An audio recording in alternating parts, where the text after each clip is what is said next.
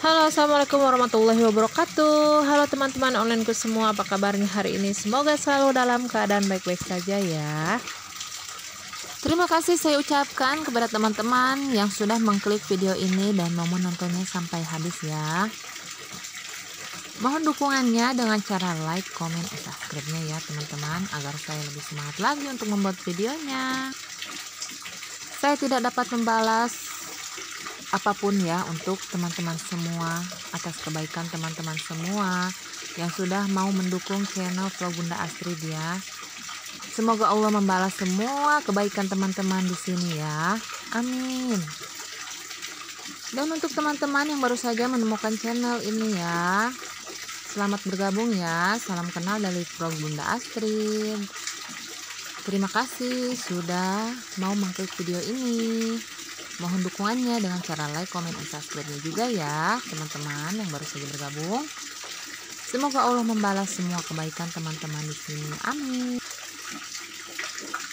Baiklah teman-teman, di video kali ini saya ingin meng kegiatan saya ketika mencuci ya. Kali ini kegiatan saya yang ingin saya share itu mencuci pakaian ya teman-teman. Terus lanjut memasak setelah itu lanjut juga menyapu lantai ya teman-teman.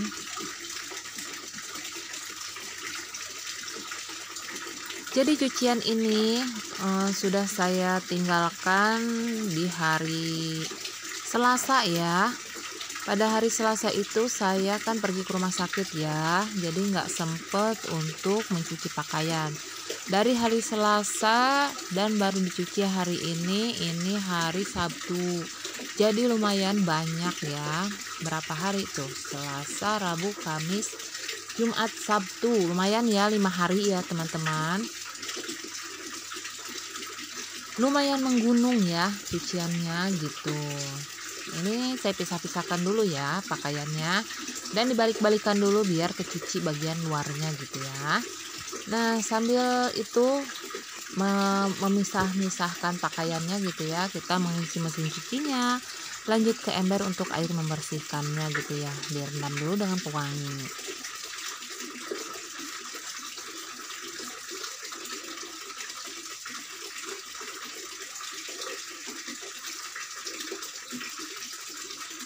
Gimana teman-teman semua di sini? Apa sudah mencuci pakaiannya atau belum ayo mencuci ya. Lebih seru sih sebenarnya mencuci di sungai ya atau di kali gitu. Kayaknya enak banget ya yang punya rumah belakangnya tinggal buka pintu itu kali ya. Kayaknya seru gitu ya kalau mencuci di kali itu. Semangat gitu airnya banyak gitu. Tapi tentu saja kalinya yang aman ya teman-teman. Gak rawan banjir terus nggak ada buayanya gitu kan yang aman-aman saja lah gitu. Saya pernah lihat di channel temen ya temen YouTube juga uh, pas belakang rumahnya itu buka pintu dapurnya itu langsung ke kali. Ah seru banget itu melihatnya gitu ya nyuci nyuci di situ gitu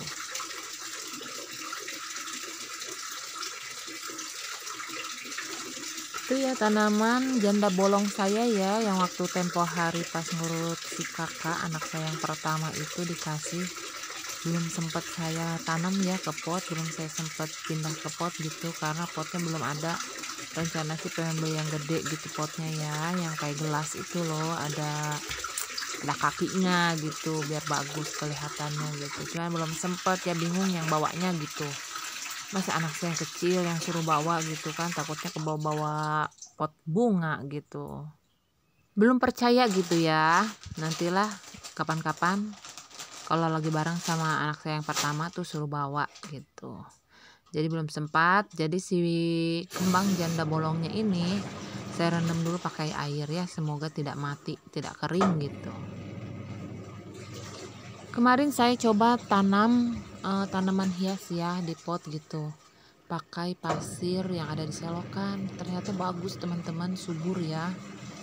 Tanaman saya itu segar gitu. Tumbuh subur dia nggak kering nggak nggak layu dulu gitu enggak. Jadi langsung tumbuh segar gitu.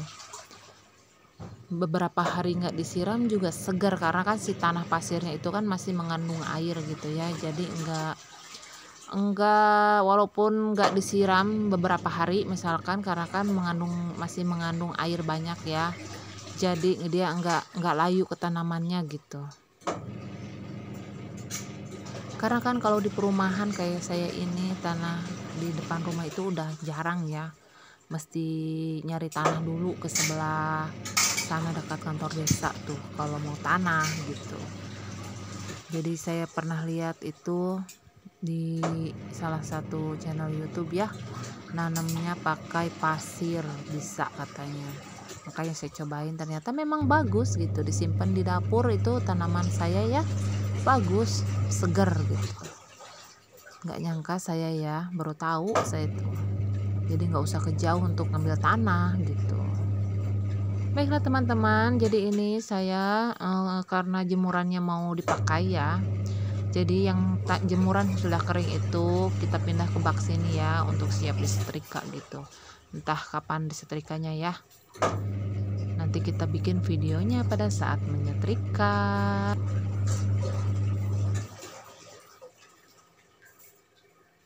Jadi pagi hari ini anak saya yang pertama itu ada kegiatan di sekolahnya ya kegiatan di ekstrakurikuler paskibranya kata katanya lagi ngadain acara perlombaan antar siswa SMP dan anak saya jadi panitianya.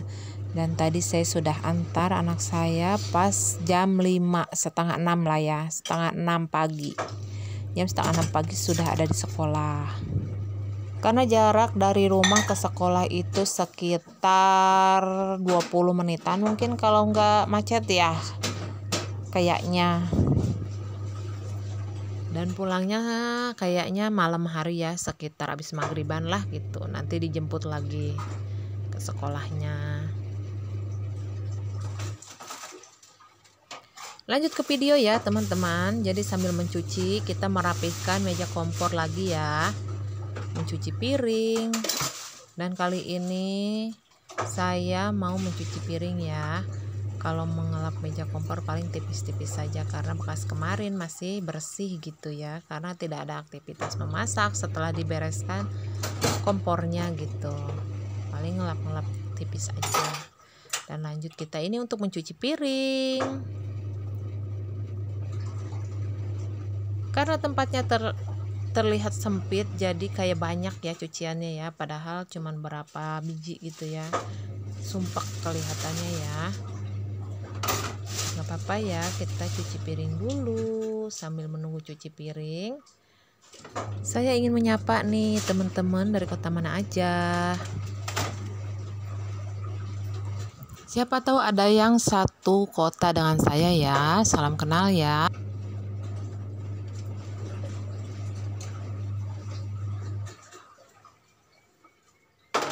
kemarin saya habis dari Naiso ya tempatnya perabotan ibu rumah tangga peralatan rumah tangga gitu ya. Surganya ibu-ibu gitu surganya emak-emak gitu. Banyak banget perintilan yang lucu-lucu gitu. Tapi saya cuma beli tempat makan botol minum sesuai kebutuhan anak-anak aja ya karena botol minumnya sudah lama gitu dan ukurannya gede-gede. Jadi ceritanya pengen beli botol yang kecil biar masuk ke tas gitu. Buat anak saya yang pertama dan anak yang kecil. Dan harganya juga lumayan ya di situ tuh miring gitu ya nggak yang terlalu mahal.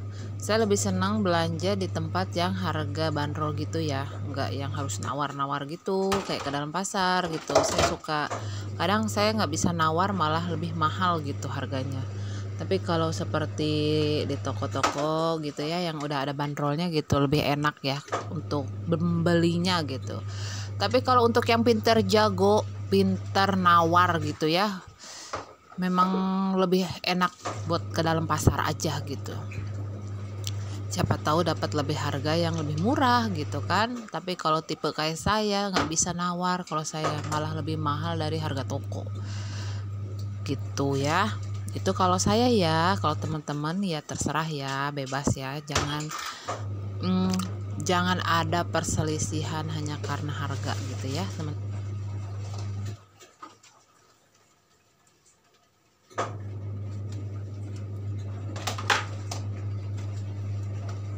Jangan bosan ya teman-teman melihat saya, melihat video saya ketika cuci piring ya teman-teman. Karena kan pekerjaan ibu rumah tangga itu berulang ya, jadi pekerjaannya ya itu-itu terus. Cuci piring, cuci pakaian, mengepel lantai, menyapu lantai, membersihkan tempat tidur ya, seperti itu ya yang ada di rumah gitu.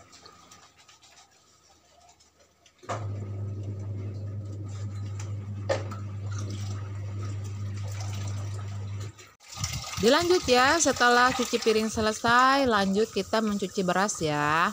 Ini biasanya saya diawali dengan memasak nasi dulu ya, mencuci beras ketika mau memulai memasak. Jadi ketika ikan sudah matang, nasi pun sudah matang gitu ya. Makanya nasi saya dahulukan untuk dimasaknya. Saya kalau memasak nasi masih menggunakan metode orang tua zaman dulu ya dibilas sebanyak tiga kali terus diukur pakai jari telunjuk yang segarisnya itu ya. Apakah sama teman-teman semua di sini juga menggunakan metode seperti itu? Berarti kita sama ya.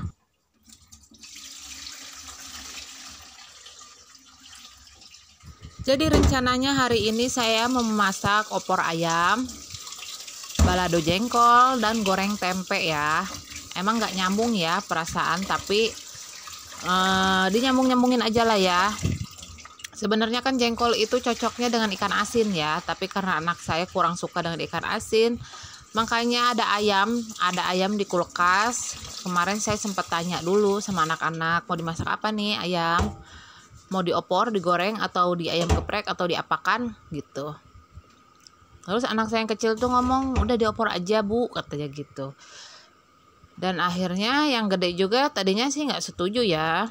Karena karena kurang suka sama kulit ayamnya yang lembek-lembek gitu ya. Kalau diopor itu kan nggak kering kayak digoreng ya.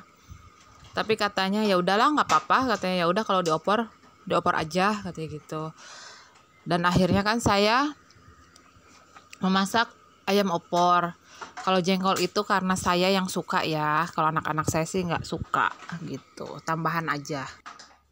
Sudah lama rasanya tidak merubah posisi dapur ya. Posisi barang-barang di dapur maksudnya ya. Karena belum sempat gitu. Nantilah ya nanti kita rubah posisi dapur biar ada penyegaran mata gitu ya saat di dapur. Suasana baru dan inilah ya menu-menu yang saya akan masak hari ini. Jengkol segini sebungkus ini ya harganya cuman 7500 ya teman-teman. 7000 harganya 7000 ya. Terus itu tempe goreng tempe itu harganya cuman 2000 kalau di tempat saya.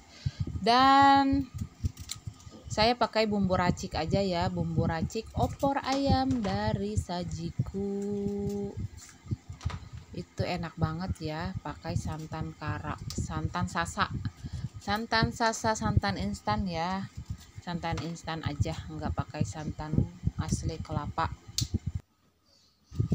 Sebelum memulai memasak kita potong-potong dulu ininya ya jengkolnya biar ketika digoreng matang sempurna ya nggak mentah di dalam gitu ya ukurannya pas. Nah ukuran seperti ini biasanya dipotong empat ya kalau saya gitu. Rencananya ini mau dibalado aja gitu. Kalau tempe ini mau saya goreng ya jadi saya mau marinasi tempe ini dengan royco ya royco aja. Cukup royco aja lah. Kalau saya sih pakainya royco ya royco sasa gula. Itu itu tiga uh, bumbu ya yang saya pakai gitu. Kalau tidak ada satu rasa pasti berasa di lidah saya gitu.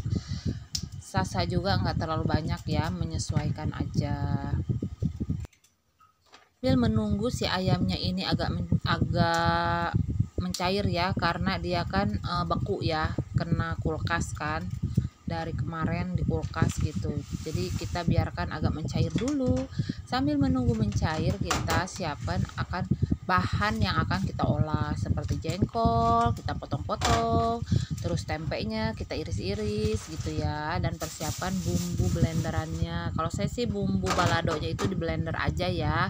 Biar cepet nggak ngulek-ngulek gitu lebih praktis dan bumbunya lebih ini kalau menurut saya lebih medok ya kalau bahasa Sunda tuh medok kalau bahasa Indonesia apa ya jadi bumbunya itu menggoda selera gitu ya kalau di blender itu banyak gitu bumbunya Nah, jadi kalau saya itu mem memarinasi tempe itu seperti ini. Jadi sediain mangkok ya. Terus si tempe e, diisi air dulu ya si mangkoknya itu. Terus saya uh, saya balurin dulu dengan air itu si tempenya biar basah.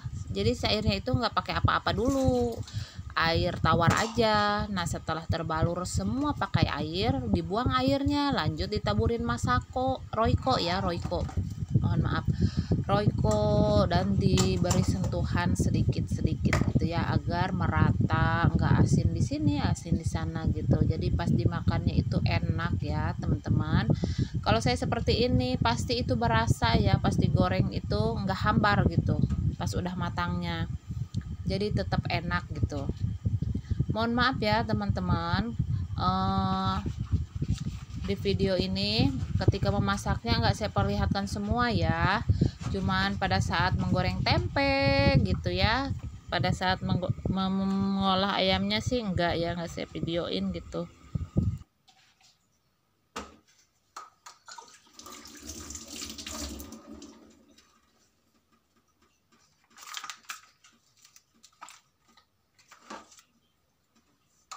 biar cepat terpisah si daging ayam ini ya antar temannya gitu. Kita rendam dengan air ya teman-teman. Jadi biar cepat lepas gitu. Sebenarnya sih nggak apa-apa ya walaupun nggak lepas juga karena kan ini mau diopor bukan untuk digoreng ya. Kalau dioporkan eh, bakalan menguap airnya gitu kan dipanaskan gitu. Nggak ngaruh banget gitu. Nah inilah ya masakan kita yang siap dieksekusi ada ayam ada tempe dan ada jengkol. Dan ini bumbu raciknya ya teman-teman dari Indofood. Rupanya ya bukan sajiku ternyata dari Indofood. Nah lanjut. Kita mulai memanaskan minyak untuk menggoreng tempe ya saya lebih senang menggoreng tempe itu menggoreng pokoknya memasak ya. Lebih senang di penggorengan seperti ini ya teman-teman. Walaupun ini udah jelek tapi fungsinya masih sangat berfungsi ya. Cuman tampilannya aja udah agak buluk gitu ya. Maklum udah lama ini waktu saya pertama menikah. Tahun 2007 ini dikasih orang tua saya penggorengan ini ya teman-teman. Jadi pas pindah rumah nggak punya peralatan dikasih lah ini sama orang tua ya gitu. Dan sampai sekarang masih bagus gitu masih enak untuk dipakainya gitu luar biasa ya. Walaupun teflon ada tapi rasanya itu lebih enak pakai penggorengan ini ya teman-teman gitu pas memasaknya gitu. Kalau itu saya ya teman-teman boleh beda-beda ya terserah teman-teman ya kalau tidak setuju. Nah ini penggorengannya. Kita masukkan tempenya ya teman-teman. Digoreng sampai kering.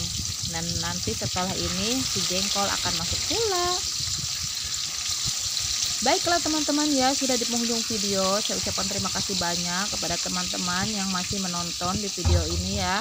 Sampai detik ini saya ucapkan terima kasih banyak Semoga Allah membalas semua kebaikan teman-teman di sini. Akhir kata saya ucapkan wassalamualaikum warahmatullahi wabarakatuh. Sampai berjumpa di video berikutnya. Bye bye.